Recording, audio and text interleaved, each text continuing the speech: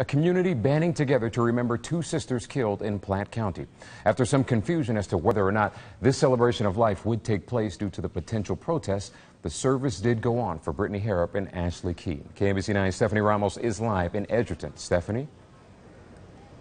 David, it was standing room only here at Mount Zion Baptist Church here in Edgerton as hundreds gathered to celebrate the lives of two sisters, Britny Haarup and Ashley Key.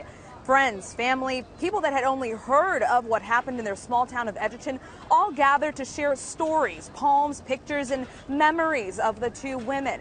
Everyone wore bright colors, as you just saw some of those people spilling out of the church here. They wore those bright colors, asked to do so by the family to remember the sisters killed last weekend. Accused killer Clifford Miller entered Britny Haarup's home in Edgerton to have sex with her, was startled to find her sister Ashley asleep on the couch. She confronted him. He then killed her and Haarup. The video celebrating both the women's lives shown here tonight both Britny show both Britny and Ashley embracing motherhood. Their own mother shared her memories of her baby girls in a letter read by the women's uncle. We all must try to do during this difficult time.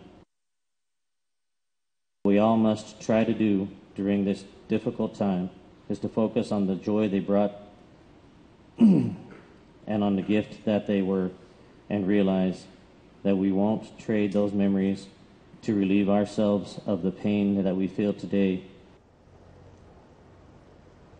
More on this celebration of life for Britny Haarup and Ashley Key coming up tonight at 10 o'clock on KMBC. Reporting live from Edgerton, Stephanie Ramos, KMBC 9 News.